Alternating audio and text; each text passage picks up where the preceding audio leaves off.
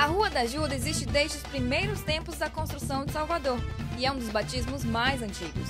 O nome da rua é em homenagem a Nossa Senhora da Ajuda, a padroeira da primeira igreja que os jesuítas construíram aqui, que na época foi feita de taipa e coberta de palha.